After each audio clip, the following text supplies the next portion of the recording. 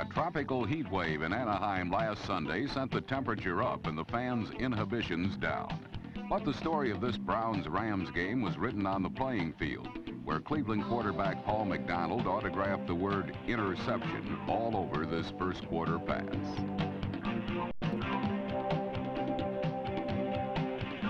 Leroy Irvin's 81-yard touchdown run with McDonald's errant toss gave the Rams an early 7-0 lead.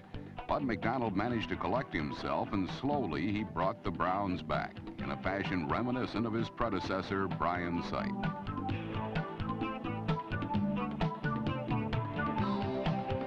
With the help of former Dolphin wide receiver Duriel Harris, number 84, McDonald completed 18 of 35 passes for 263 yards.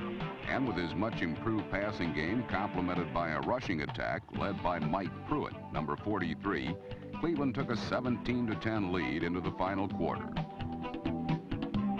All day long, the boos normally reserved for the opposition were showered upon Ram quarterback Vince Ferragamo.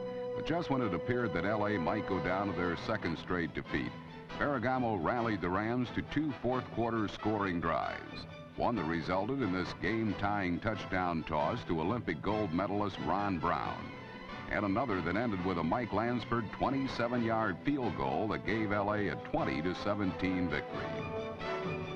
While the Rams signed and sealed this come-from-behind victory with a strong hand of support for their beleaguered quarterback, Walter Payton of the Chicago Bears continued to make his mark on the NFL record